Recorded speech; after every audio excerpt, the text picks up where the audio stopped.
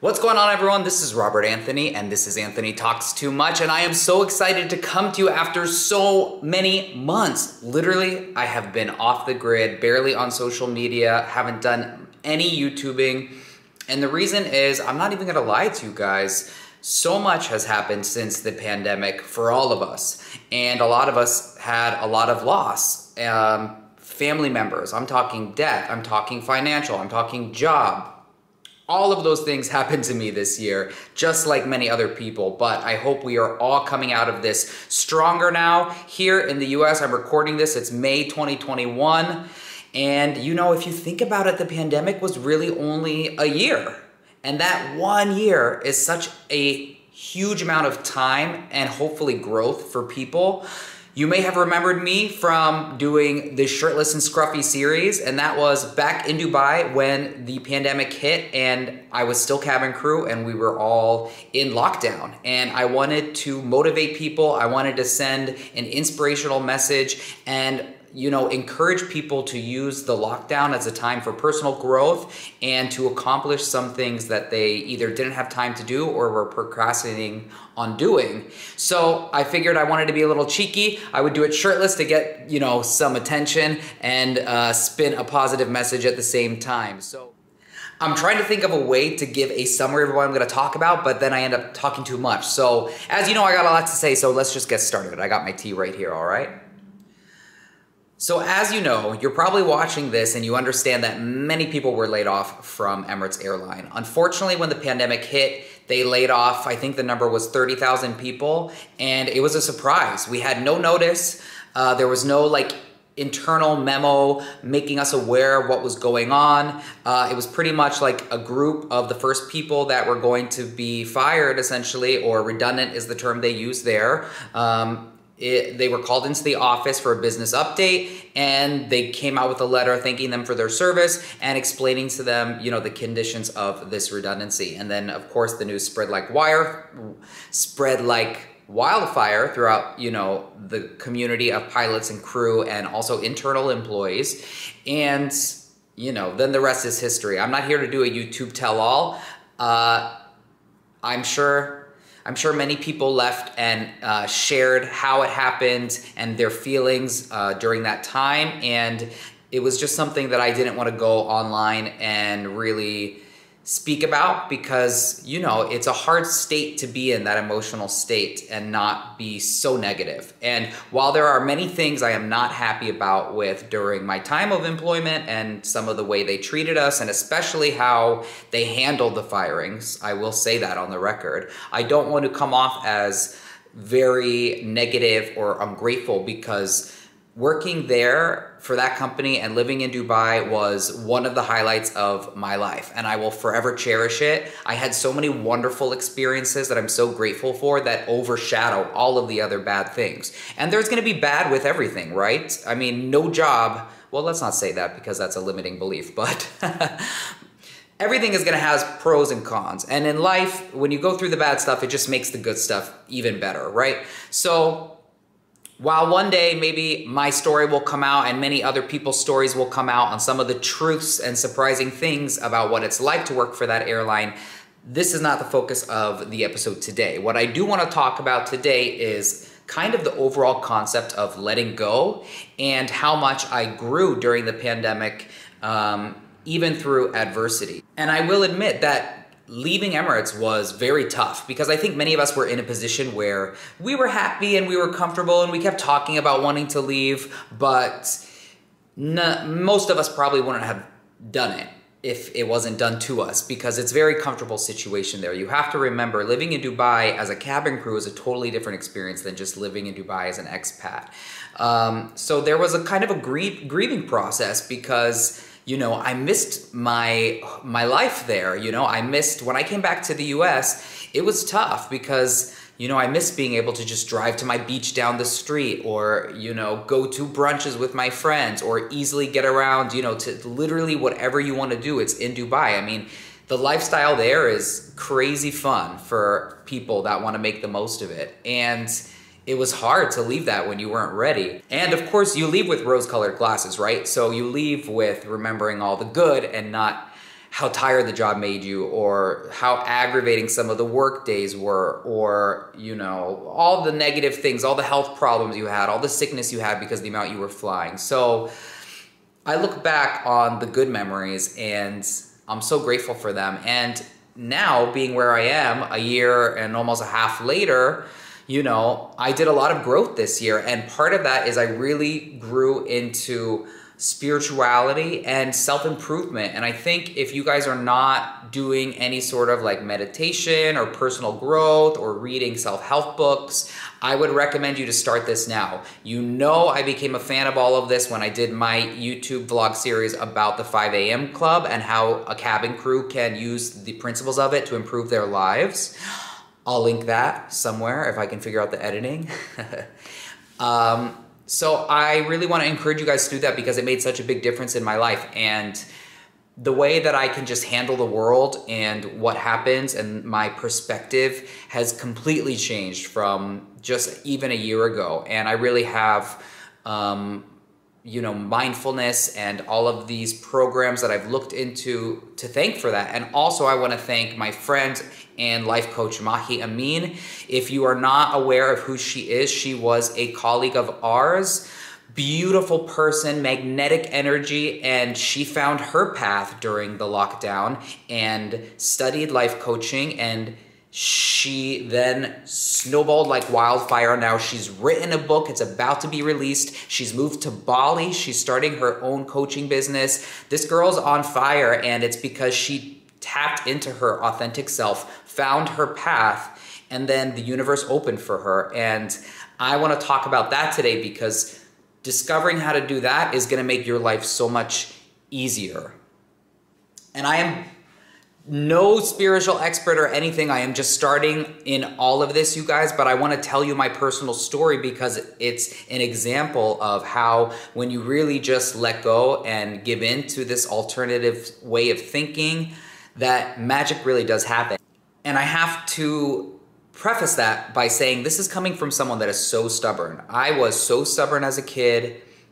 I did not even want to hear about meditation. I couldn't go through a yoga class because I could not stand to be in silence for 60 minutes. So I had that sort of fire and energy and lack of patience. I definitely got that from, you know, my father's side, the Italian blood in me.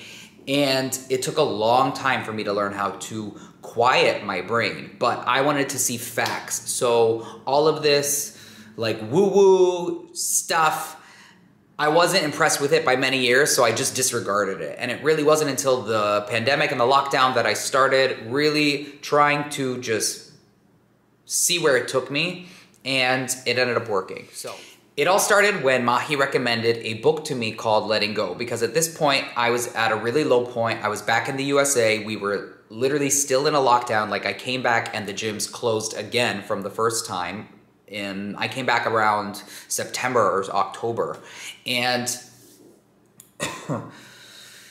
it was just a dark period of my life. My uncle had passed away. I had a, a condo uh, that I happily bought when I moved to Dubai, and I was renting it out because I thought it was a great investment while I was living overseas to have people in it paying off the mortgage.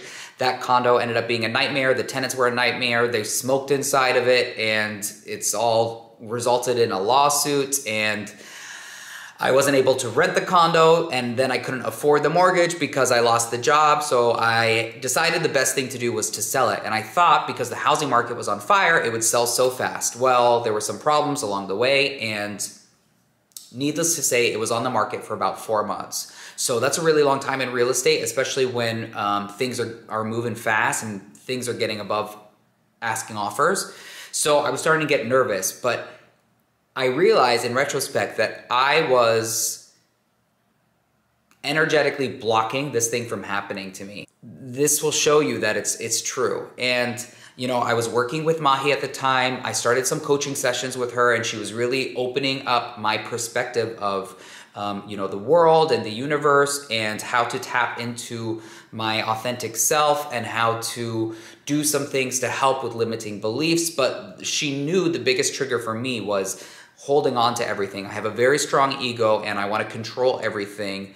Um, you know, my mom was an executive at a huge corporation. From a young age, I grew up really learning that, you know, you have to fight tough, you have to fight hard, how to negotiate, all of these things. Um, don't let people walk all over you. So it's very hard for me to uh, just surrender to a stressful situation, which is what Mahi essentially wanted me to do. She said, you have to just let this go. Trust it's gonna happen in the right time. Of course, it's easy to hear that, but it's not really easy to, to believe it inside, especially when you're stressed about money. Because at this point, I was in a financial nightmare. All my money was tied up into this house that I couldn't get sold, and things were very, very stressful. And I wasn't sure what was gonna happen because if I didn't sell this place, I would have to like move into it without even being able to pay for it. And uh, my body is tensing up as I'm speaking about this because I was so stressed, you guys. And I'm not trying to get sympathy or something. I'm just trying to show you, like, um, you know, where I was in my life. I was in a very low place, negative,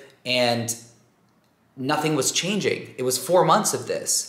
So I read this book called Letting Go, and I just finally realized that you have to surrender to what's happening. And if something is happening to you, it's it's it's because it needs to be there. Like it, there's a lesson in it for you. And I learned so many lessons with this condo sale and uh, just so many things. I made many, many mistakes with this home, but it was my first home buying experience and now I know so much more. And because of all the stress of this I actually started to learn a lot more things about the mortgage industry and financial services and just an overall financial education. But here we are. I'm stressed. I'm financially stressed. I can't get the house sold. And I was working with Mahi. I read this book and I was just like all right I'm just gonna try to do this. Literally I'm gonna try to do this. And I was like you know what? If I have to literally move to California into a house that, yes, is mine, but I literally can't afford it. I don't have a job or I'm looking for a job. I'll make it work. I'll make it work, right? You just gotta make it work. I'll get a blow up mattress. I will get some pots and pans and cutlery and kitchen things from my friends, some things that, you know, uh, Goodwill, and I'll do it cheap. I'll live there. I'll work two part time jobs if I have to until I can figure this out and get it sold again. And I went to bed that night really feeling like, you know what, it won't be the end of the world, and maybe it'll be a fun adventure if I have to do that. So then what happened is the next day, I suddenly get an offer on the condo. It's a little bit lower than what I want, so we counter it. They take 24 hours to respond to our counter, and within those 24 hours, we get two more offers. So now there's a three person bidding war after it had been radio silent for four months. You guys, I cannot make this up. I swear, I swear, like I had manifested, meditated, whatever hippy dippy words you want to use, new moon energy. None of it worked during the four months until I literally went to bed feeling like I'll just move in and it's not going to be a big deal. And like that, I swear to you, three offers, we're into a bidding war, and eventually I get the house sold for over asking. So this stuff works, you guys from someone that was never able to silence his mind or even believe that there was such a thing as energy, which is now scientifically proven. I, I'm so grateful for all of these things happening because now it's led me down this path and I'm really trying to change some of my own habits and just upgrade myself. I think that's what life is all about, right? We're all like kind of like playing a video game and we should always try to like level up ourselves. So that's also why I didn't want to speak so poorly during those months of Emirates because when I do decide to talk about my full experience, I want it to be with a fair lens. There are some things that are not good about working for that company. There's no denying that. You can go on TikTok and YouTube and find tons of bloggers and vloggers that share um, you know some really disappointing stories and some truths of what it's really like to be a cabin crew for that company. But there's also so many amazing things about it. So you have to look at things objectively. Um, so i wanted to make sure before i ever did that that that's how i will approach it because i loved my time working there. And speaking of that i have Finally started to get some time to edit all of my footage. I know some of you are laughing right now. And I promise you on my Instagram account, if you guys aren't already following me, please follow me at Flex Around the World. Like yes, like Flex. We're gonna flex around the world together. It's about travel, it's about fitness, it's about flexing your life, it's about living.